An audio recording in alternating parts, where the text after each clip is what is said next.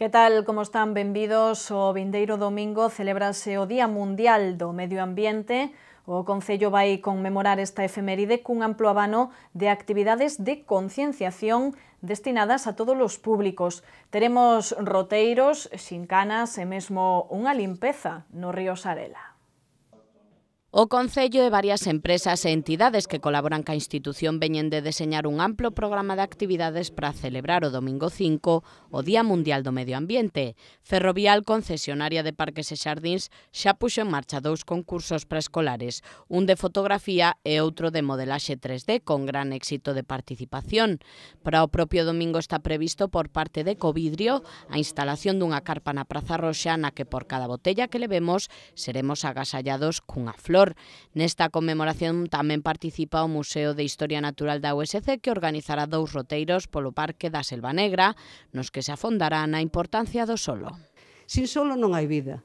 Os solos son ecosistemas moi complexos, teñen unha parte mineral, unha parte orgánica, desenvolven moitísimas funcións, desde os ciclos de, a, de auga, ciclos de nutrientes, son os que sosteñen unha biodiversidade elevadísima, non só do que vemos, senón de flora e fauna microbiana, a biodiversidade do solo é impresionante.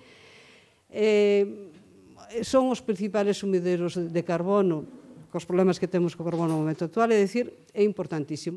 Biacua tamén colabora nesta celebración cunha limpa do río Sarela que terá lugar o vindeiro mércores e que estará aberta a toda a cidadanía. El año pasado lo que hicimos fue una limpieza por parte de personal del Concello y personal de Biacua, limpiamos una parte del río Sar, Y bueno, pues este año lo, que nos dimos cuenta cuando estábamos limpiando es que mucha gente nos decía, ah, yo si hubiera sabido que se podía limpiar, pues mm, hubiera uh, participado. Entonces, este año vamos a ampliarlo a todos los vecinos y vecinas de Santiago que se puedan unir, que quieran unirse con nosotros a limpiar el, río Sar en, perdón, el río Sarela en, el tramo de la zona de Galeras. O Centro de Interpretación Ambiental de Compostela organizará tamén o domingo unha xincana ambiental. Será ás 11:30 da mañá no edificio ubicado no Parque de Belvis e está dirixido a todas as familias. E mentres Paco Reyes segue a insistir en que a estación intermodal non é a que merece Santiago. Oxe, o voceiro socialista valeuse duns planos para indicar que estamos máis preto dun intercambiador que dunha intermodal. O alcalde, pola súa parte, pídelle que deixe de facelo ridículo. O voceiro do PSOE valeuse dos planos do novo proxecto da Intermodal para confirmar o que viña dicindo nos últimos días. Este é un proxecto cutre que non cobre as necesidades de Santiago. Neste senso, Paco Reyes cree que imos ter un intercambiador e non unha intermodal. O que temos son dous edificios completamente diferentes que teñen os seus servizos cada un deles, e que están conectados por unha pasarela. Por lo tanto, non hai intermodalidade. En todo caso, o que nos van dar a Santiago vai ser un intercambiador, pero non un intermodal. Vale, como sabedes, o que sería un paradigma de intermodalidade pois sería o aeroporto de Instante en, en Londres, non? Reyes lembrou que no novo proxecto prevense 450 prazas de aparcamento particular lonxe das 1.500 previstas no anterior proxecto. O voceiro socialista tamén criticou que a pasarela peonil non vai quedar cuberta ata a segunda fase. A pasarela, como vedes, vaise encubrir. En Santiago de Compostela temos a sorte de que o noso clima permite que temos moi pouca chuva, ao longo do ano e, polo tanto, vaise encubrir. A cobertura da mesma está prevista para a fase 2 a pregunta volve a ser a mesma. É dicir, é preciso 3 millóns e medio de pasaxeiros para que cubran a pasarela nun clima como Santiago, porque isto é todo externo. Si lembrades, perdón, si lembrades no, no proxecto de Herreros, claro, toda a transición era precisamente por dentro, polo tanto estaba coberta, non tiñas problema. Aquí vai todo o exterior. Reyes tamén cree que quedan moitas preguntas en resposta como por que desaparece o edificio anexo a estación do tren ou como se vai resolver o transporte urbano pola zona do Orrio. O alcalde xa molesto cas críticas constantes do voceiro do PSOE pídelle que deixe de facer o ridículo. Bueno, diríalle o, o señor Paco Reyes que faría ben en deixar de facer o ridículo sistemáticamente en todas aquelas cousas eh, que son moi importantes para, para a cidade. Non? Si el querelle cambiar os nomes ás cousas, pois que o faga. Si busca todos os días titulares nese sentido, que o faga. Si quere eh, decir que isto non respeta o proxecto de Herreros cando é o propio Herreros o que está a redactar o anteproxecto, que o diga. Pero eu creo que máis alá das posicións partidarias o que debera intentar defender unha posición de cidade. E en ese sentido, facer todo tipo de crítica eh, constructiva positivo, reiterar eh, crítica a crítica pola crítica, eu creo que canto menos eh, é cansino. Noriega insiste en que o proxecto dá unha solución integral non só con respecto á unión do transporte por tren e por carretera, senón tamén no que ten que ver ca mobilidade peonil e ca conexión cos barrios do sur. Por certo que tanto o voceiro municipal socialista como o alcalde valoraron eh, positivamente a elección de Xaquín Fernández Leiceaga como candidato do PSDG á Xunta. Paco Reyes cree que o exconselleiro vai ser quen de liderar un proceso de cambio en Galicia, mentres que Martiño Noriega considera que con Fernández Leiceaga ábrese un diálogo máis doado de cara a un novo goberno de esquerdas. Penso que a pregunta é e as mareas van facer un acercamento ao Partido Socialista, ao PSD e a PSOE e ao seu candidato a presidente da Xunta de Galicia, Xaquín Fernández de Leiceaga, porque estou convencido de que, dende logo, o primeiro partido eh, da esquerda neste país vai ser o PSD e a PSOE e o candidato máis votado vai ser Xaquín Fernández de Leiceaga. Por tanto, a pregunta é ao revés. As mareas van facer un acercamento ao PSD e a PSOE e ao seu candidato? Eu creo que o resultado que se deu no, no PSDG-PSOE este pasado sábado eh, é importante na medida en que axuda a viabilizar e a facilitar bueno, que poda acabar sendo pois, un goberno de cambio aquí no, no país. No? E en ese sentido, eu creo que o perfil de Lei Ceaga representa eh, bueno, esa vontade e conecta mellor ca base social do, do PSOE que entende que o PSOE ten que facilitar eh, unha, nova, unha nova etapa e facelo eh, con todos aqueles que están de alguna maneira implicados en novas maneiras de, de facer política eh, a nivel galego. Eran palabras do alcalde durante un encontro que mantivose no Pazo de Raxoi coa decana da Facultade de Matemáticas. Martiño Noriega e Victoria Otero falaron dun congreso que terá lugar en Santiago en outono.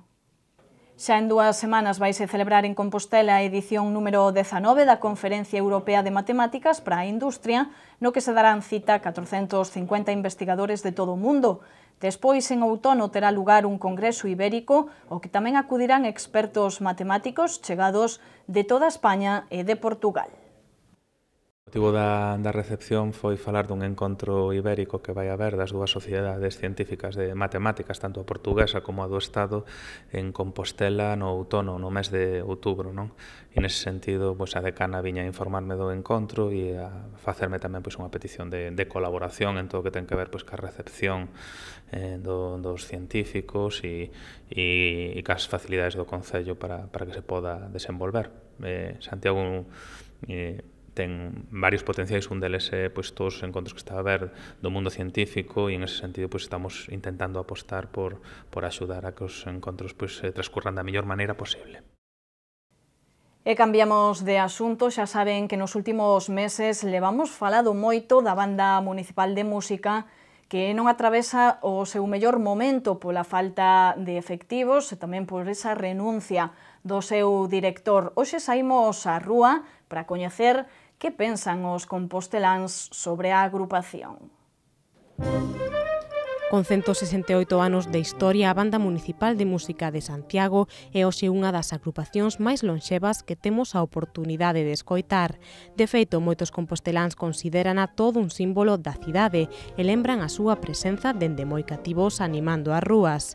Como xa lles contamos, a banda non atravesa o seu mellor momento. Piden máis instrumentistas para cubrir tres plazas que quedaron baleiras e que están agora mesmo cubertas cun contrato temporal de tres meses. A falta de membros membros engadida a outras cuestións, provocou a renuncia do director Juan Miguel Romero Llopis, que xa non estivo no último concerto celebrado a semana pasada. Así as cousas non son bons tempos para a banda, algo que preocupa os santiagueses, que lle piden ao goberno local que se implique, aínda que entenden que é complicado dada a situación de crise actual. Eh, como la banda de Santiago es la más antigua de España, deberían de darle las ayudas que necesita para, para conseguir los músicos y para que pueda seguir sú labor. Que poña cartos para iso, é que se eh, cada quito do outro lado, que se cada non fan tanta falta. Cubran as plazas que, que fan falta, e se non hai ese director, que non podo, eso, pois que busquen outro. Tenía que entender muchas cosas, sabes? Una banda hoy en día, ¿cuánto cuesta eso? ¿Eh? La crisis que hay, de dónde se saca el dinero, etcétera, etcétera, porque mira cómo tenemos las calles, cómo tenemos todo. La ciudad que que en estes momentos é a capital de Galicia, ven calquera autoridade, calquera persona necesita unha banda.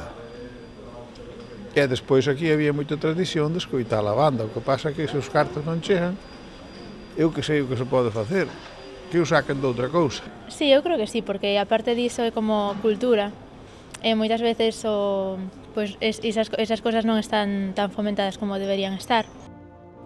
Os santiagueses de máis idade lembraban non sen certa nostalxia que levan escoitando a banda dende moi cativos e que aínda hoxe seguen desfrutando dos últimos concertos que a agrupación está a ofrecer. Por exemplo, nos primeiros, cando eu era mozo, na Alameda, tocaba no quiosco da Alameda, despois algunhas veces polas rúas, e agora últimamente tocaba no principal. E foi na escoitar tamén? Sí, sí. A última vez que as contei foi outro día nas platerías con cantigas e agarimos. Pois pues, eh, en, en el Palacio de ese, mas aquí, na, aquí mismo nesta calle. Oh, sí. Eu non a escoitei moito porque cando, cando era de escoitala tiña que traballar. Pero ten tocado aí na Rúa de Villar moitas veces. A banda de música está atravesando un dos seus peores momentos, pero parece que conta co apoio dos composteláns. Así se demostrou no concerto do pasado xoves, xa sen Romero Llopis, no que se registrou unha gran asistencia de público. En outra orde de cousas, o Concello está a condicionar a Casa da Xuventude para que poida volver a abrir as súas portas No mes de xuño, que estamos a piques de estrear o obxectivo, é que o inmoble sexa ocupado por asociacións de todo tipo para que poidan realizar un diagnóstico sobre o seu uso. A idea é concretar mediante o uso diario das instalacións cales son as fortalezas e as carencias do edificio. Así, os colectivos que o utilicen durante un tempo saberán se precisa novos espazos ou cambios nos xa existentes, As súas aportacións serán tidas en conta polo goberno local a hora de redactar o prego para o concurso de arquitectura que quere convocar de cara ao inverno. Da experiencia das asociacións tamén sairá o destino definitivo do inmoble situado na Praza do Matadoiro. Hai que recordar que durante o anterior mandato do PP quedara aprobado o derrubamento da Casa da Xuventude para sacar adiante un novo proxecto que contemplaba abrir a praza ao Parque de Belvís. Compostela Aberta decidiu darlle unha nova oportunidade a esta construcción envolta durante moito tempo na polémica. E imos a botarlle un ollo á nosa xenda cultural, onde, como sempre, lles traemos algunhas recomendacións para o seu tempo de lecer.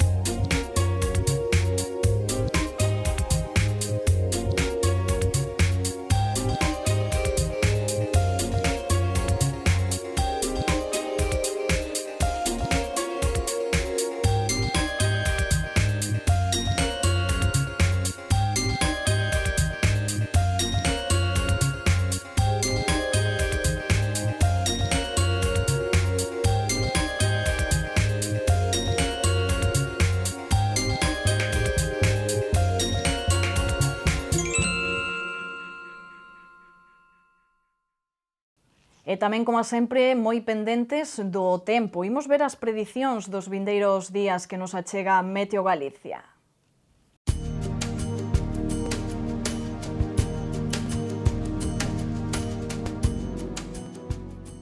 Mañá martes en Santiago agardase un tempo seco e estable. Deste xeito amenceremos con intervalos de nubes e claros e bancos de nevo en moitos puntos do interior, que irán desaparecendo co avance do día.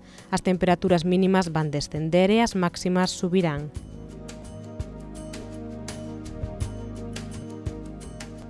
O mércores de novo teremos unha xornada de calor. Os ceos permanecerán despexados en xeral con algún intervalo de nubes altas pola tarde. As temperaturas mínimas quedarán sen cambios e as máximas pola contra subirán. O vento soprará frouxo do nordés.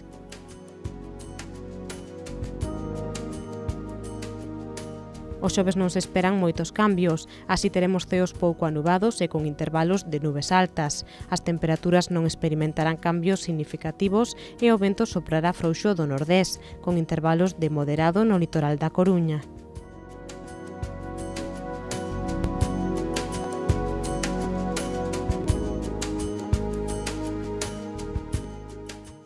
Maña martes en Compostela espertaremos con ceos anubados que irán quedando despexados cara a tarde. As temperaturas mínimas van descender e as máximas subirán.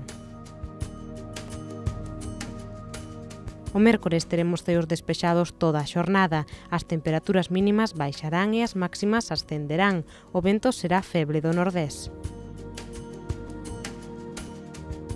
Os xoves de novos ceos estarán despexados e con intervalos de nubes altas. As temperaturas mínimas van ascender lixeiramente e as máximas quedarán sen cambios. O vento soprará moderado do sudoeste. Ata aquí o repaso desta xornada de luns. A continuación volvemos no Preguntoiro neste caso para conversar co voceiro do BNG Compostelán. Acompáñanos Rubén Cela, con el volvemos, graciñas por atendernos.